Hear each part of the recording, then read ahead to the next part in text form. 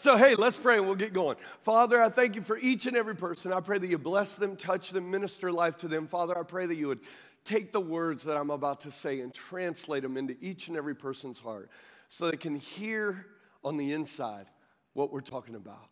Father, have your way, and I know you will. And we thank you for it. In Jesus' name, come on, everybody says, Amen. All right. So, what I want to talk about this weekend, we're going to kind of conclude this series because next weekend, Easter weekend, come on, somebody.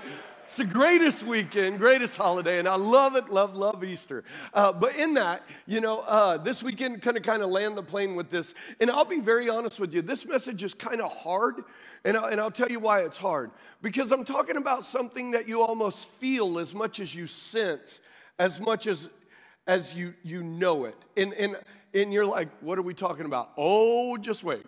So here it is. Uh, I want to talk about why we love God's house, and and and this is the part where I'm talking about the feel. We love God's house. You know, I told you the, the God's house, when we talk about it like that, it's not just a building. It isn't a building, it's the people. Y'all getting what I'm saying? But what makes this people group different than other people groups? People at different places. What, what makes this group different is God's presence. It, it, I, I can tell we need to go there for a minute. It's God's presence. That's what separates it. So, so get this. We understand that the church is the people, it's not the building. But what happens in the building makes this building different than every other building. Come on, am I right? All right? This is where lives are transformed, people are healed, blessed, saved, delivered. All right, I got three amens. So, okay, we're going. It's going to be a long Monday morning or sun. What is this? Sunday? Sunday. I don't even know what day of the week it is. But anyway, it's going to be. But but but here's the deal. You ready? But God's presence here changes everything. It really does. Let me give you an, eh, give, give you a couple of examples of this. So, believe it or not, I, there are very few things in life that I remember the first time I encountered it. Okay, very few things. But this one God's presence, I remember the first time I encountered it. I, I remember it. Now, you may be, not be this way, but when I was 12 years old, gave my heart to Christ, Baptist church, gave my heart to Christ, but I didn't get on fire for God. Matter of fact, I was still a rebellious teenager. Come on, that doesn't come as a shock, does it? I'm on my way to heaven, but it's only by the grace of God. so, long story short of it is, a couple years later, I was probably about 14 or 15. All right, I remember I was a rebellious somebody, and I did not want to go. But my parents made me go with them to a little bitty church. If you're traveling from Kokomo to Muncie, Indiana, the church is on the left hand side, right past uh, I 69. All right? And um, it's a little white church. They, they've since built a building on the back of it, but it, at one time it was just a small little country steeple church. And I remember going there, I'm about 14, 15 years old, going there for, a, watch this, it was like a Friday night. I'd have much rather been at the skating rink. Come on, somebody. Shuffling and DJing, baby, or something. But instead, I got drugged to this, watch this, the Isaacs were singing there. Now, now some of you are like excited already. All right? But when you're 14 and you show up to a country church and you'd rather be at the skating rink, and everybody, they, they, they weren't even carrying guitars, they were carrying guitars. Y'all, y'all ain't getting it like I got it. They had banjos. They, had a, they didn't have drums, they had a bass drum. Boom, boom, boom, boom, boom. And at 14 years old, I'm like, listen, Def Leppard is a whole lot better than this. You know, I don't know why we can't play some REO Speedwagon or something. And I'm sitting there. Somebody, somebody said amen to that. All right, anyway. Sinners. Um, no, I'm just kidding. Oh, oh, I got a, I, I got something in my message. You'll feel comfortable. Don't worry. So I'm sitting there, and uh, and I'm sitting there, and I did not want to be there. And they started singing. And I'm telling you, it was not my style of music. It was not what I wanted to be a, part of. There was probably only 150, maybe 200 people. I don't really know. You know, when you're a kid, sometimes the numbers are skewed in your mind as far as how many people were there. But it was a very small building.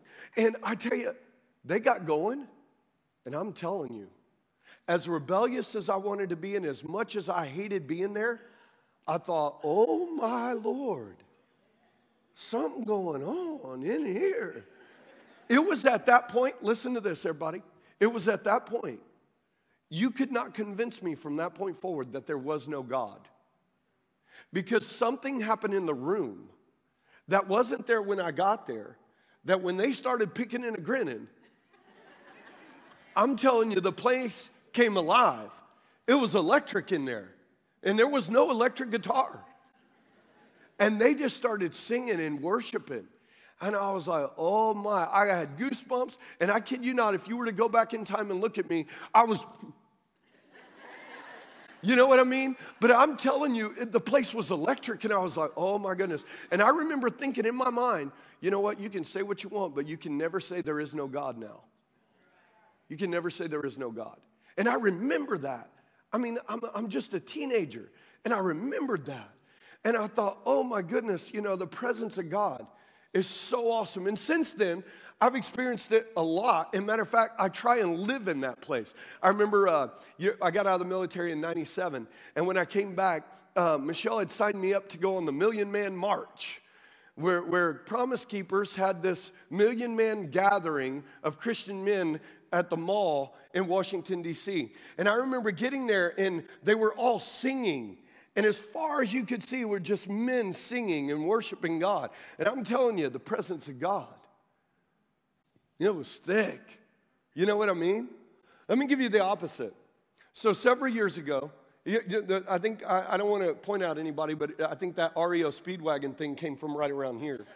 Uh, but uh, uh, I think it was her actually. But anyway, uh, but but but with that being said, uh, I remember several years back, uh, Michelle got me a ticket. So so two groups that I've loved ever since I was a kid is Creedence Clearwater Revival, because that's swamp music. Come on, if you're from Louisiana, I was kind of disappointed when I heard that they, they, they made those songs and they had never even been to Louisiana. you know what I mean? Um, and they had that and they had ZZ Top. All right, they had those two touring and they were down at, uh, what do they call it now? At Deer Creek. They were at Deer Creek, all right?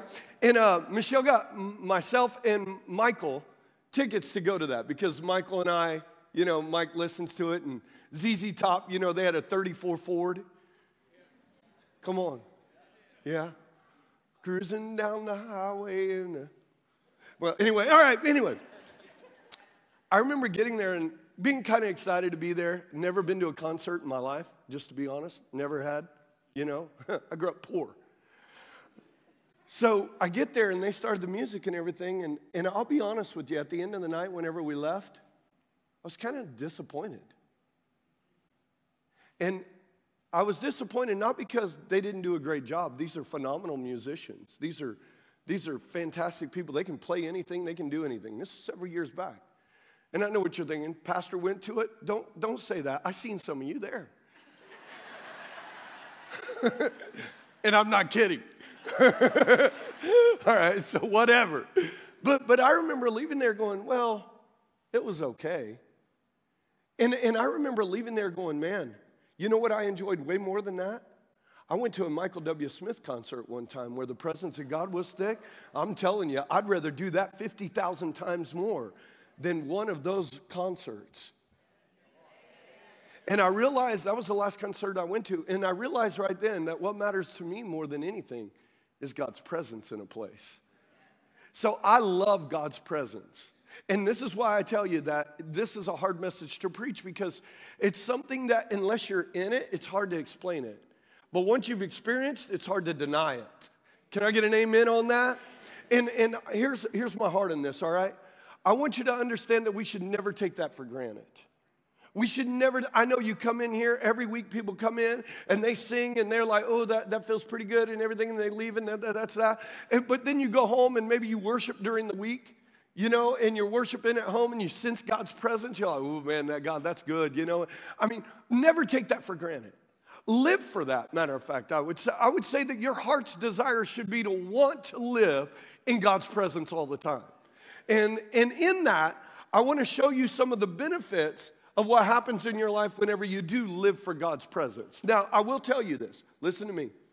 God's presence affects different people in different ways. If you're a believer, it's going to do one thing for you, but if you're not a believer, it's going to affect you in a different way.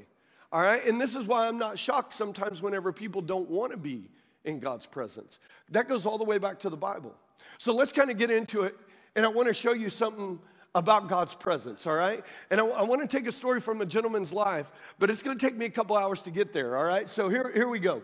First of all, let me break this down for you. Under the Old Covenant, Old Testament, all right? From Genesis to Malachi, you, well, not actually from Genesis, actually from Moses giving the law to Malachi, you will find out that God lived in this.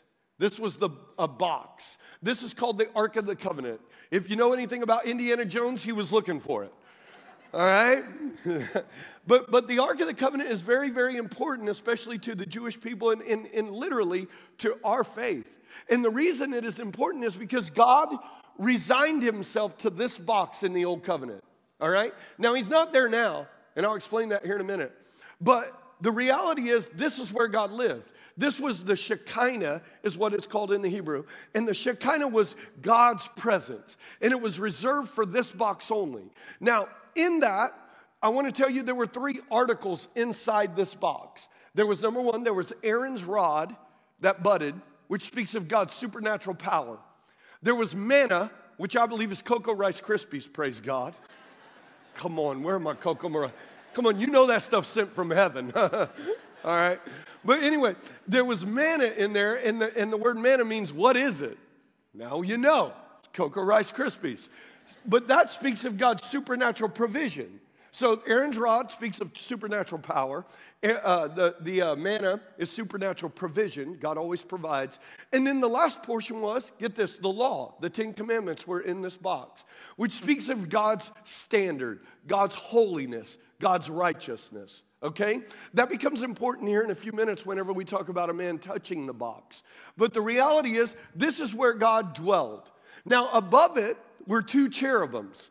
The, the word cherubims is kind of a unique word. A lot of people think it's angels that are actually touching, but that's not actually what, what is going on here. This is called the Ark of the Testimony. Everybody say testimony. This is the testimony. So, watch this. The two cherubim witness to something, all right? What do they witness to? Every year on the Day of Atonement, the Jews would take sacrifice a sacrificial lamb, the one that was, was innocent, they would take and shed its blood, they would allow the scapegoat to be released, and they, they would confess all their sins over the scapegoat, and then they would send it on, on its way as a representation of you and I.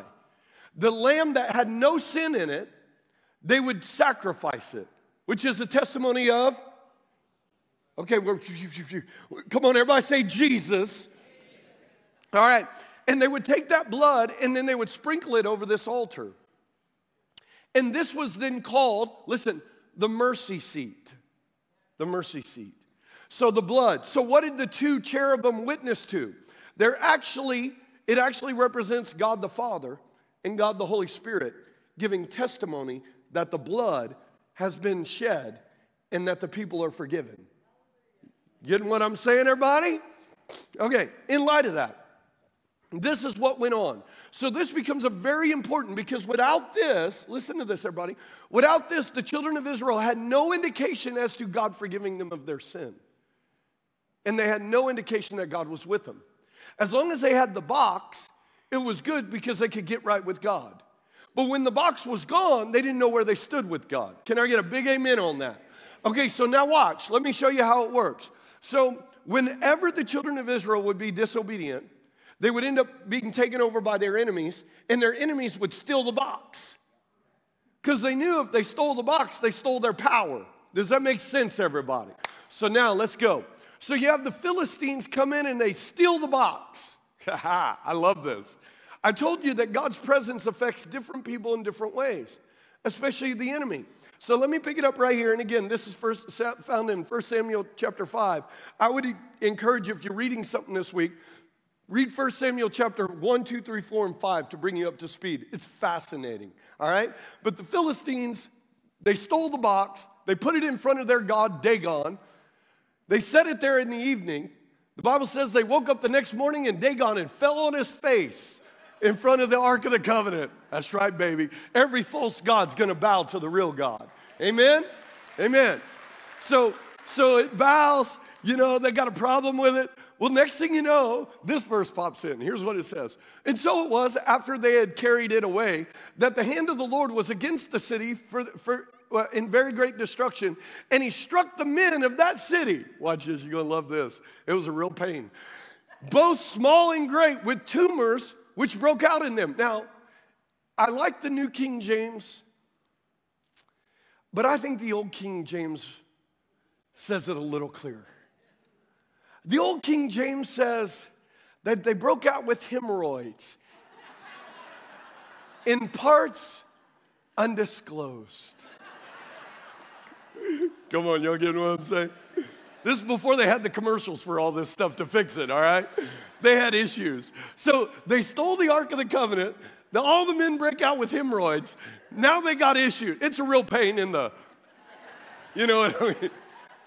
All right, so check this out. So look at the next verse. So therefore they sent the ark of the Lord to Ekron. I bet. Let's get rid of the box.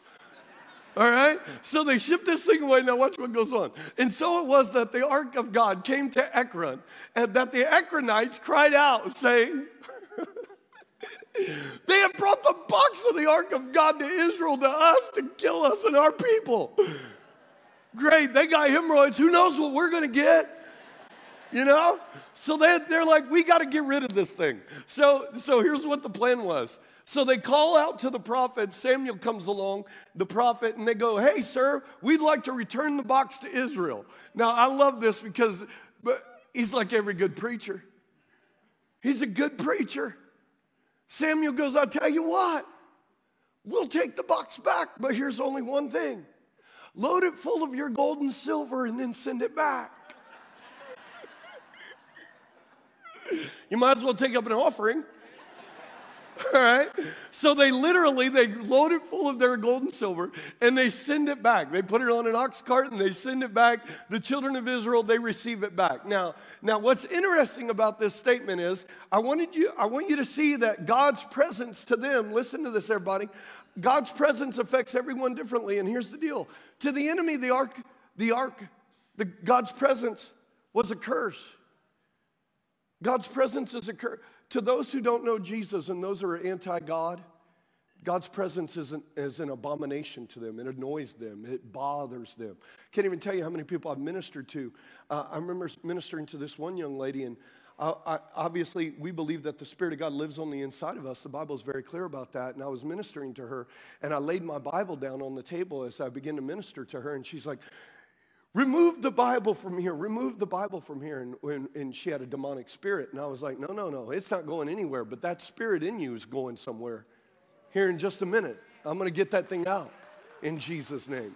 Are you following me? So, understanding that God's presence to some people is, is an offense. Now, get this, everybody. So, they got the Ark of the Covenant and they bring it back to the children of Israel. Now, check this out. 1 Samuel 7 1 says, And then the men of uh, Jearim came and took the ark of the Lord and they brought it into the house of Abinadab. Everybody say Abinadab. Come on, Peru, everybody, say Abinadab. Abinadab. Now, Abinadab is a Jew. He, he's there, he's there to take care of the box, the Ark of the Covenant. So Abinadab on the hill and consecrated Eleazar, his son. So, so now watch, everybody.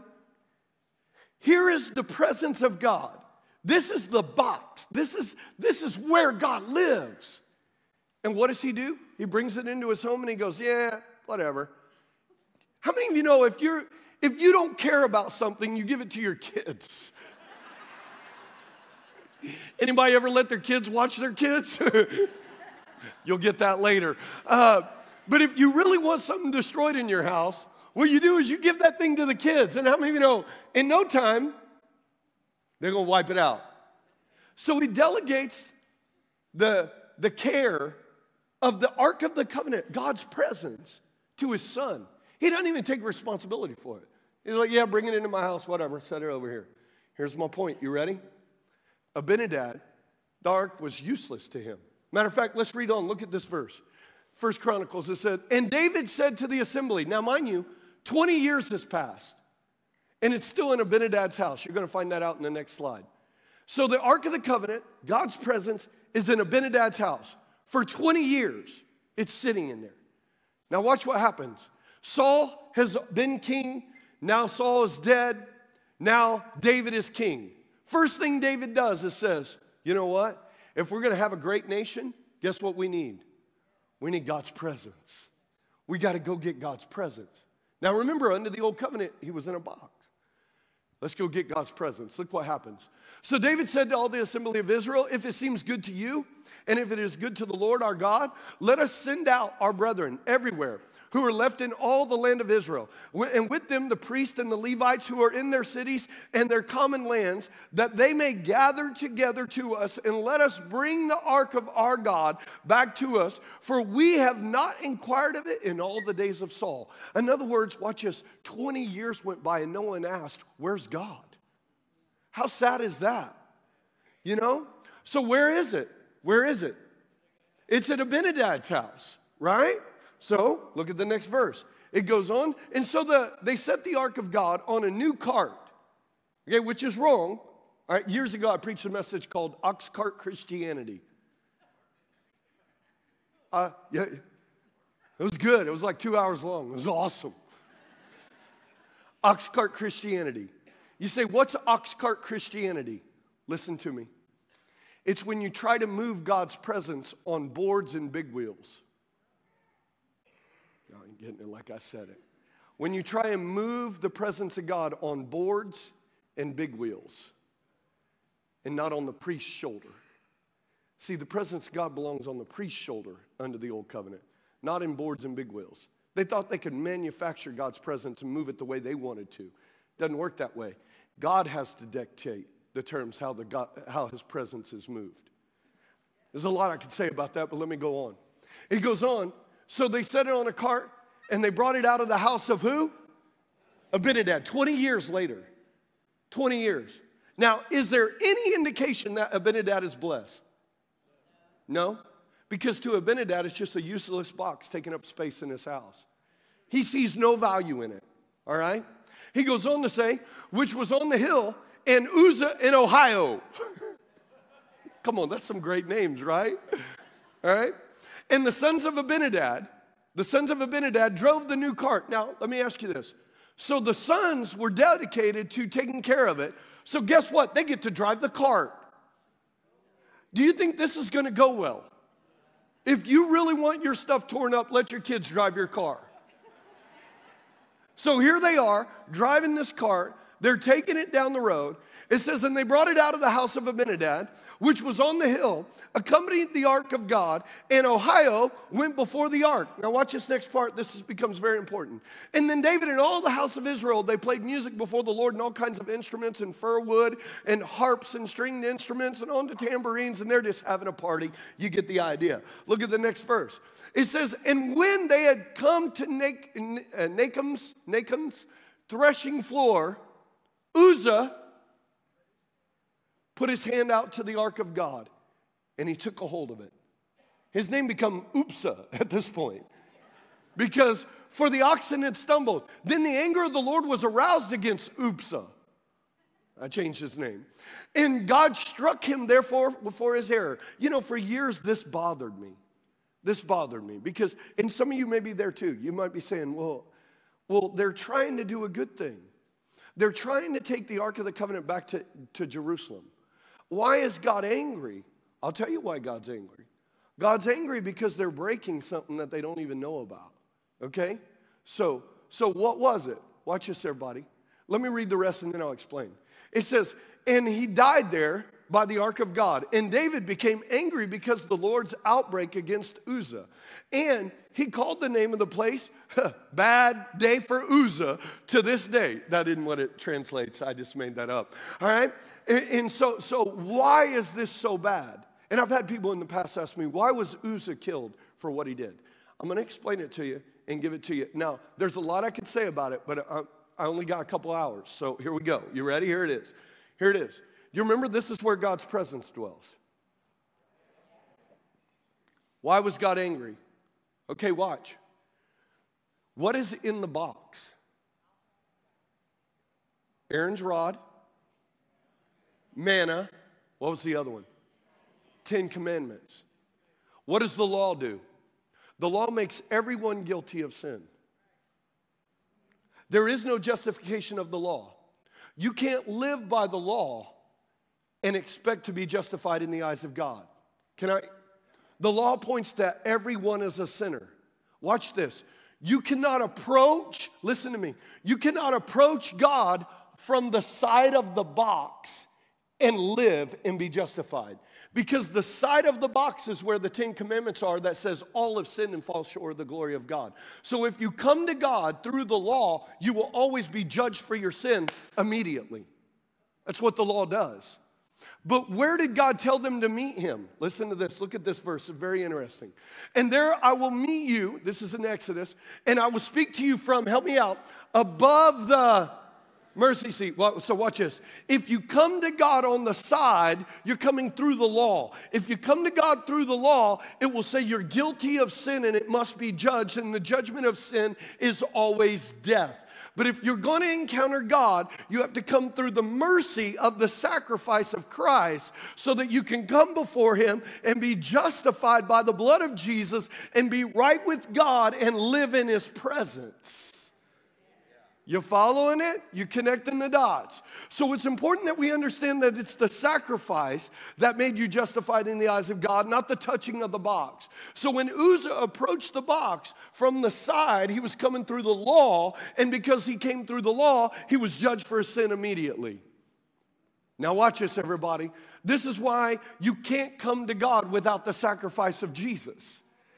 Because it's only in the blood of Jesus that we have been redeemed, we have been sanctified, we have been made as if we have been justified, just as if we had not sinned. Why we come through the mercy of God, not the judgment of God.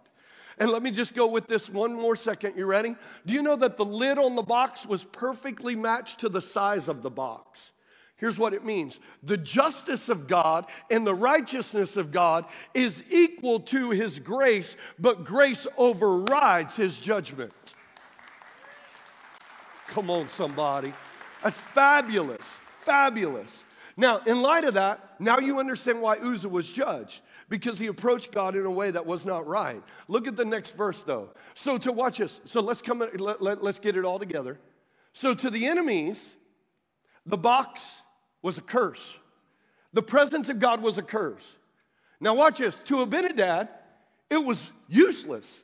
It's just a box, he put his kids over it. Watch this. To Uzzah, who did not understand how to approach God, it was death. There's one more dude, though, who understood. And, and, and I pray that this is who we are. Listen to this. So David was, I'm sorry, did I get, yeah, yep. So David was afraid of the Lord that day, and he said, How can the ark of the Lord come to me? So David would not move the ark of the Lord uh, uh, with him into the city of David. Watch this. But David took it aside into the house of Obed Edom, the Gittite. And the ark of the Lord remained there in the house of who? Obed Edom, the Gittite. Three months. Three months. How long was it in Obed Abinadab's house? 20 years. How long is it in Obed Edom's house? Three months. And watch this now. And the Lord blessed Obed Edom and all his household. I love that. See, we think God's presence is only about blessing us. Nothing could be further from the truth. See, there is an invisible web that you can't see between the house of God and God's presence in your home. They are absolutely unified. When you live in God's presence, it doesn't just affect you, it affects you, your house, and all of your family when you carry the presence of God. And just a reminder, I want to remind you of this that no longer is God in a box. The Bible says that you are the temple of the Holy Spirit and that the Spirit of God dwells in you. You are the Shekinah presence of God. But I believe that there are some people who live like Abinadad. They live like Abinadad in the idea of this. You ready? God's in them, but he's useless because he can't move through them because they see him as not doing anything. They see him as, well, I just don't know if it would benefit me. I just don't know if this or that or the other. And nothing could be further from the truth. When Obededad, or I'm sorry, when Obed Edom got that box to his house, he must have did something quite different. He honored that presence of God. He thought, my goodness, out of all the people in Israel, I've got God in my house. How many of you know everything changes when God gets in your house? Praise God. Everything changes. And he recognizes that. And he's like, oh my goodness, God's presence is here. And I'm here to tell you listen to this. There are people, God's presence is there, but they don't acknowledge it. They don't, they don't see it. And because of that, they go, well, you know, I just, I just don't believe God can do this. I just don't believe God can do this. All the while denying his very presence right when he's right there the whole time. Not Obed Edom. Obed Edom started throwing a party. My goodness, I got God in my house. Praise God. You know it's about to get good. Now, in that, watch this. I love this. You ready? Here's the way I see it. Whenever, whenever you care for what God loves, God loved that box only because it was how God approached the children of Israel. Listen, He will bless what you love. He will bless what you love. And Obed Edom, from that point on, he is a different man. And if you don't believe me, I'm to show you in the story over the next couple hours. I'm telling you, he is a different man. Listen to this, and I love this. This is where I got three points, three things that I pull out of this. Here's the first one I want you to see Inviting God's presence into your life is the greatest moment of your life. When you invite God's presence in your life, it changes everything. When God starts taking up residence in you, your, your heart, and in your life, See, a lot of times we invite God, God's presence into our heart, but have you invited Him into your home? Have you invited Him into your, your car on your way to work? Have you invited Him into your finances? Have you invited Him into everything in your life? Because I'm here to tell you the more you let Him in, the more He takes over, praise God. He will absolutely change everything. Amen? And listen, more than anything, let me just be real. You ready? More than your presence here, those of you in Peru, those of you online, more than you being here, do you know who I only care about who shows up? He's the only one I care about. I care more. Why? Because I know if he shows up, I don't have, my job is easy. Praise God. He does the work, not me. He does the work. When God's in the house, it changes everything. And again, I want to remind you back to my, you know, I went to a ZZ Top concert, Creedence Clearwater walked away going, eh. You go to a concert where you can worship God. Oh, you didn't want it to stop. You're like, my goodness, Lord Jesus. I mean, you can almost feel yourself floating out of there. Now, don't get weird. We weren't high. Maybe on Jesus, that's about it, all right? But I'm here to tell you God's presence changes everything. It changes everything. When you say, Oh Lord Jesus, come into my heart, you know, you invited God's presence in. But when you invite him into your home, when you invite him to every aspect of your life, he changes everything. I was thinking about it like this, just in my, in my own mind. Uh, the word presence is a very unique word, and I think it's cool. The word presence in the Hebrew, it means face or in front of, it means to see one's face. So when we're asking for God's presence and we're acknowledging God's presence, we're saying, God, I want to see you face to face. I want to talk to you face to face. God's presence is about taking, talking to him face to face. God, I just want to talk to you face to face. I want to meet with you face to face. I want to be in your presence, God. What does that mean? Face to face. I know right now my grandson, Owen, when he wants Papa's attention, he'll get up beside me. You know what he does? And he grabs you by the cheeks and he turns to you, crackers, spit. You know what I'm saying? He turns your face like, Papa, I need your phone. you know what I mean?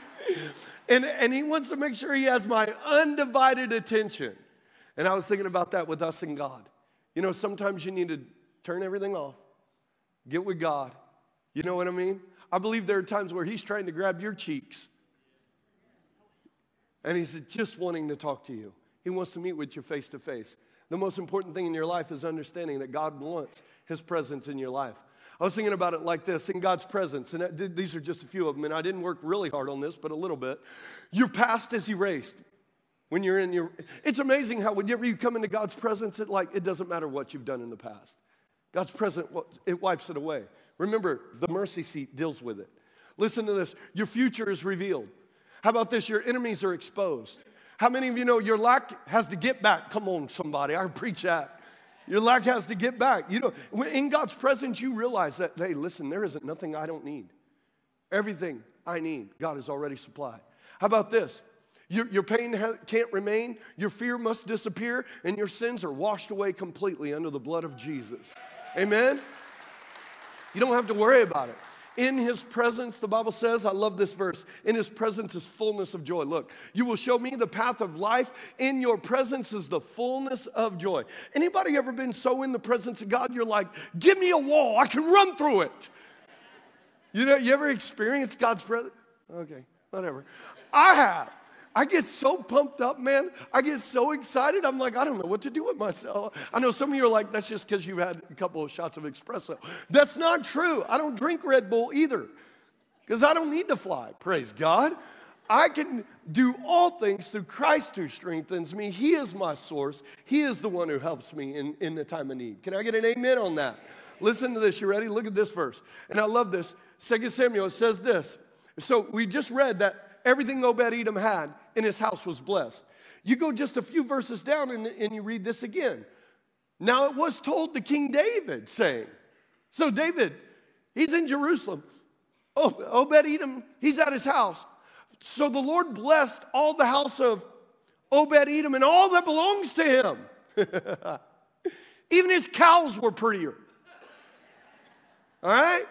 His, his yard was blessed. Everything because of how good Obed Edom was. Because Obed Edom was just a perfect man and righteous in the eyes of the Lord, Lord, and he kept all the law and all the Ten Commandments. Why was he blessed? Because the presence of God. He understood the mercy and grace of God. And because he understood the grace and mercy of God, God gave him favor. Listen to this. I love this whenever you think about it like I do. God's presence always brings blessing. You know, it was God's heart from the beginning for the box to live with the children of Israel so it would be a blessing, not a curse. You know, and it's so unfortunate that whenever people read the Old Testament, they don't understand how to approach God, so they think that every time this box kills someone, that that was what God wanted. No, God had to do that because if you break the type and shadow of the box, then you break the type and shadow of Jesus. You know, you can't approach Jesus with how good you are. You'll be judged for your sin. You can't stand before Jesus someday and go, you know what, I kept all your commandments. Well, you're lying. You're judged for it. But when you approach him under his blood, and you say, Father, I throw myself on your mercy and your grace, you know, the grace of God covers all your sin. Amen? Listen to it like this God's presence always brings a blessing. These are just some of the things that the Bible says God's presence does. It brings abundance into your life, it brings comfort. These are the verses that go with it deliverance, encouragement, favor, forgiveness, healing, all those, plus more. Joy, love, patience, peace, protection, prosperity, rest, strength, wisdom, everything is found in God's presence. If you want to experience it, now, now uh, by show of hands, check this out. Those of you in Peru, all right? Those of you up there, those of you everywhere. Let me ask you this Have you ever been having a bad day? Turn on some worship music and you're on your way? Then all of a sudden, what you were experiencing gets swallowed up in God's presence. And then, you know, you went, you left the house going, blah, blah, blah, blah, blah. all right? And then you're driving down the road, you turn on something and it's stirred on the inside of you. And it's amazing. You walk into to work. You're like, what, baby? We got it all together. What's up? And they're like, what? You know, they, they didn't see you 30 minutes earlier when you were a mess. They see you now walking in, they're like, he's always happy. No, no. He's just been in God's presence. And the things that he was struggling with got swallowed up in God's presence because his presence is more powerful than your pain. His presence is more powerful than anything you could ever have in your life. Amen? Come on. It's the truth. So, whenever I think about why I love God's house, it's because of His presence. It's His presence. Listen to this last point. When God's presence touches your life, His presence becomes your purpose in your life. It really is true. I live for God's presence, live for it, love it, can't wait. Whenever I'm not going to tell you about this building, but I remember working at the phone company, and I loved it whenever I had jobs in the central part of Kokomo. All right? I had an SBC truck, and we were allowed to just do whatever, be wherever we wanted to go for our lunch. I would drive to the old church building, and I would spend my whole lunch just worshiping God. Back then, you know, I could run the sound. I can't even turn it on in this building, but but I could run the sound, you know, and I would turn it on. I'd have some Michael W. Smith going on, and then I'd go. I I know you guys aren't like me. I like all kind. I go from that to Tye Tribbett to Clint Brown to Kirk Franklin to we do all kinds of genres of music. Praise God. But you know what? All those facilitated God's presence. And that's all I was worried about. I just wanted God's presence and I wanted more of God's presence. And when that gets a hold of you, it can't help but impact you. It can't help but become your purpose in life that you want to experience that presence. Listen to this Obed Edom, his name means servant. Obed means servant, all right? Listen to this. Listen to about Obed Edom in his place. It says, and he appointed, this, this is First uh, Chronicles 16. So later on down in the, the Bible, you'll find these verses, and they're pretty powerful if you think about it. So Obed Edom had this box for three months in his house.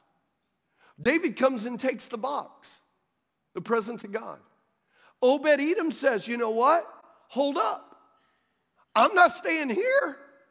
If that box is going, I'm going with it. Praise God. It's what took me from there to here. Wherever it goes, baby, that's where I'm going. So what happens? Look at this. And so he appointed some of the Levites to minister to, before the ark of the Lord, to commemorate to thank and to praise. I tell you, if you want to experience God's presence, that's all you got to do. It's not hard, for the Lord is good. Come on, Psalms 100.5. All right? For the Lord is good. He's good. You start worshiping, praising God, it's amazing how big God gets and how small your problems are because they get consumed by God's presence. It says to thank God and to praise the Lord God of Israel. Watch this. Asaph, the chief, and the next to him was Zechariah, and then Zia, and then Bob, and Fred, and Wilma, and Flintstones, and all those were there. Watch this. And guess who found his way into the group? Obed Edom. Obed Edom said, Wherever that box is going, I'm going. And guess what? Y'all want to sing?